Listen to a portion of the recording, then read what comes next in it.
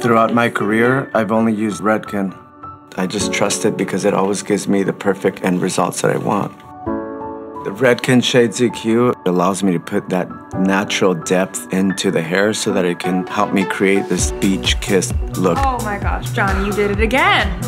It's amazing.